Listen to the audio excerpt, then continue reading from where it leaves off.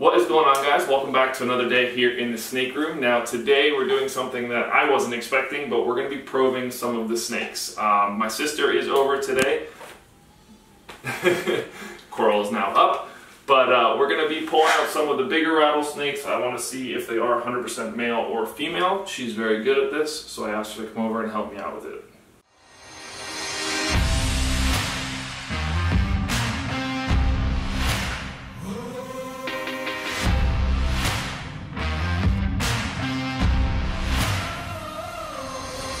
Okay, so we're gonna start with the Mexican West Coast rattlesnakes.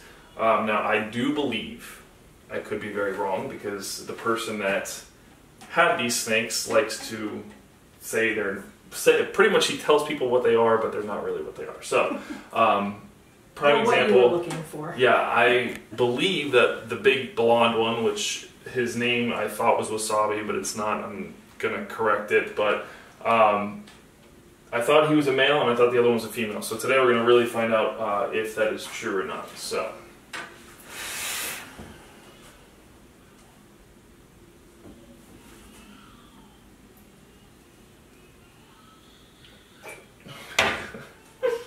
Don't mind my daughter crying in the background.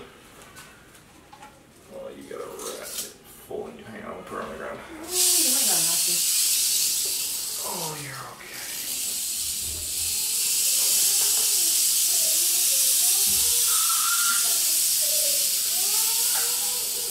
You want to get a smaller one perhaps? No.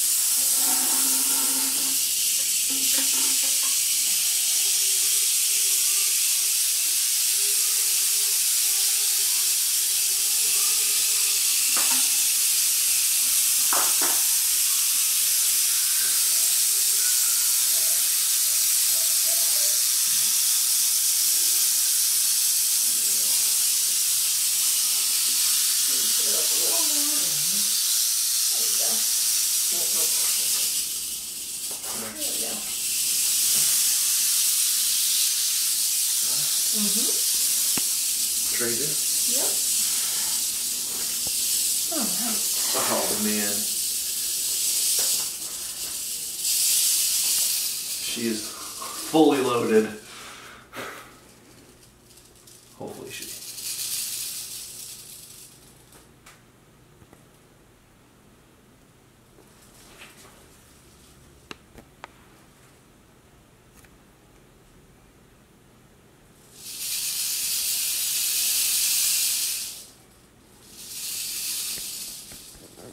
Yeah, I'm gonna.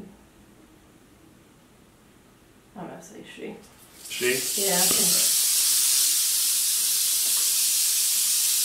Alright, you want to uh I'm gonna open that cage for you, huh? no the cage is already open. Oh.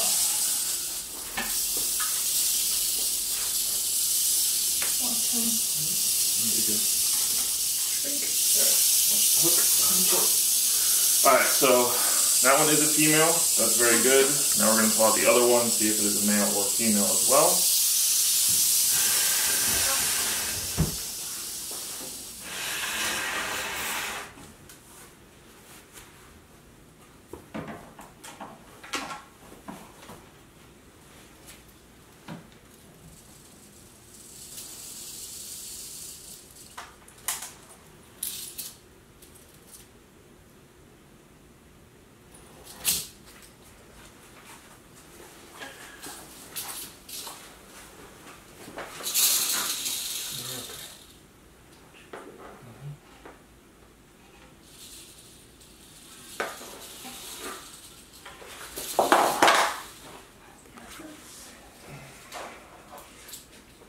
I love the way these guys feel.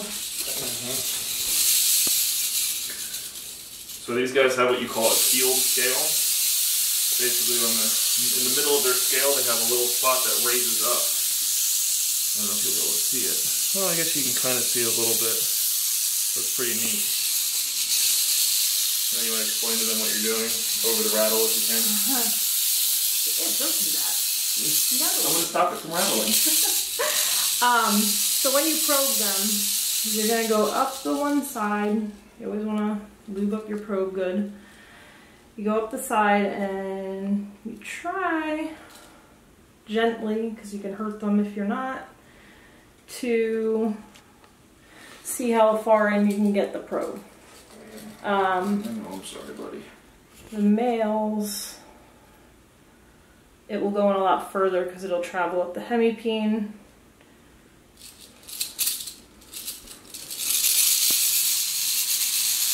Both females. Ah, there we go.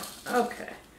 So the female that we did, see he's going, going, going. So the female, when I put it in, it only went up to about one scale length. This one went all the way there. Females, generally, you can tell they're about one to three, maybe a couple extra scales. The males will go anywhere up to 9 to 15 scales in. When you're doing this though, if you're not really careful, you can be probing a female, push a little too hard with maybe too small of a probe, and pop through. And uh, that's really dangerous. So you should not do this if you've never done it before or you're not taught properly. You should not be doing this.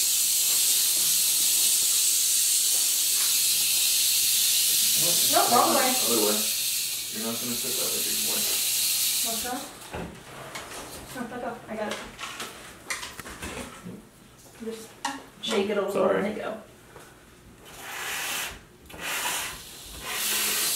Alright. Alright, so on different snakes, you can tell the gender by, I guess, looking at its tail. Some snakes are sexually dimorphic, which you've heard me talk about previously um, in other videos. Yeah, like the white lip tree vipers, prime example. The males have an actual white line that goes all the way up their across their face, and down the other side, which actually separates their belly scales from their back scales. So that's something that's sexually dimorphic because the females don't have that white line at all. Um, sometimes you can look at snakes' tails and tell, like gaboon vipers are prime examples. You want to explain that to them? Um, the females don't have anything filling up that tail space, so their tails will be a lot thinner than the males usually. Um, even with the two snakes that we just probed, the female has a much shorter tail than the male, uh, and his tail's a lot fatter. The hemipenes go all the way down, so that's why the female's her tail is more tapered, thinner, and shorter. So you can do that with a lot of the snakes. It's usually how I deal with the, the small bush vipers and stuff, like the squams and whatnot. You can usually eyeball them, and you can do it from a pretty young age, so it's easier that way than traumatizing them. All right, so next we're gonna try and pull up my uh, one of my canebrake rattlesnakes, the one that I always call male. I believe it is a male. It was given to me as a male. It was a free snake that somebody had gave me because they said it was too aggressive. Uh, it was supposedly wild caught. Um, I really am hoping that these are pairs so that when I can produce babies with them, I'm actually going to be donating them to uh, New England Reptile or NERD, as you guys mostly know them as, because Kevin does do a lot of conservation work with these particular snakes. So Susie did probe the other one when I first got here many, many years ago. It was over five years ago, um, and it was a female. So we're going to pull out the other one, and hopefully it is a male.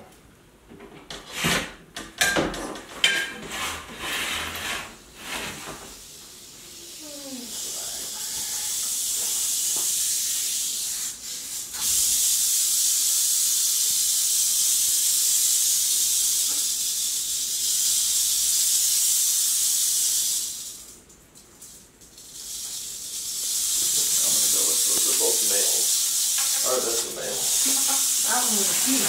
Oh yeah, sorry. This, that was the female. I'm gonna go with the male. Just looking at the tail. This way.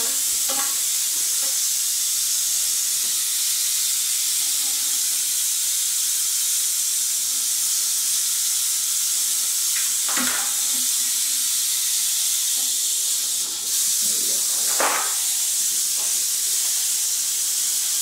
I got this. You stand up. There we go. Go with a little smaller one for this one. Now this snake. You think it's a male? I think it's a male. Could be wrong.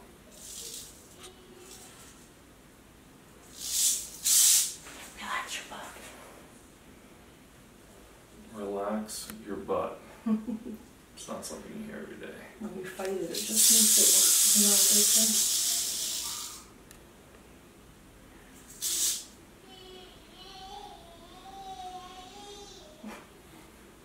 Coral is very upset right now.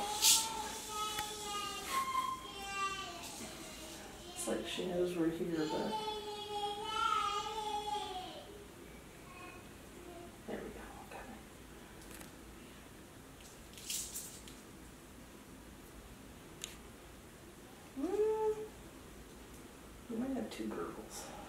That wouldn't surprise me either.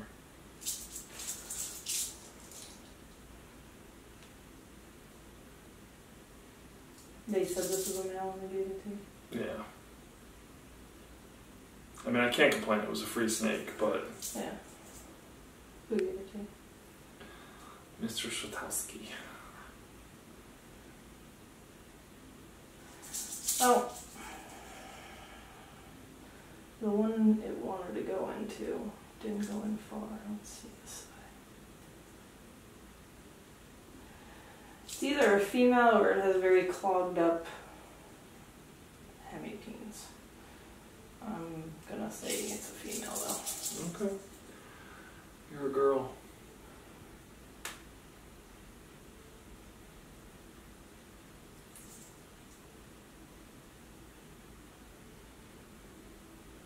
I mean, it's barely going in. So, two females. So we need a male. Yeah. So, if anybody catches a male canebrake, hit your boy up. But yeah. So again, keeled scales like the Mexican West Coast rattlesnake. You can see in the middle of each scale, kind of, there's like a small little line.